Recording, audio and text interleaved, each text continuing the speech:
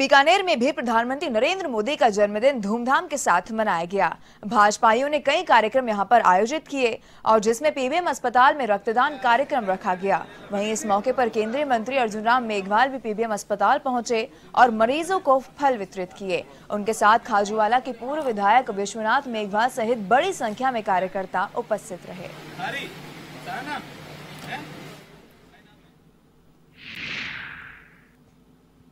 समर्पण भाव से सेवा करें।